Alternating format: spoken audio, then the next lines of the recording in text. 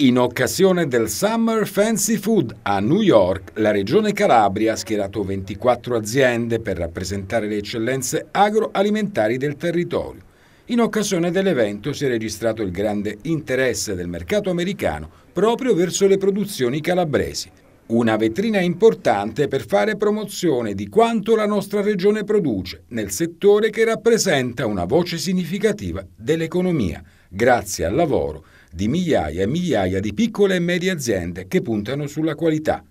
La Regione punta molto al settore, ritenendo fondamentale il ruolo delle istituzioni nella valorizzazione dell'intera filiera agri-food. La spedizione a New York con il Fancy Food è stata anche in questo caso un buon successo per eh, l'agroalimentare calabrese. 300 aziende che ICE ha organizzato per Fancy Food a New York, di queste 324 erano calabresi, quindi quasi il 10%, a testimonianza di un eh, settore agroalimentare che sta crescendo e che vuole soprattutto raccontarsi meglio e promuovere meglio la Calabria e il prodotto Calabria.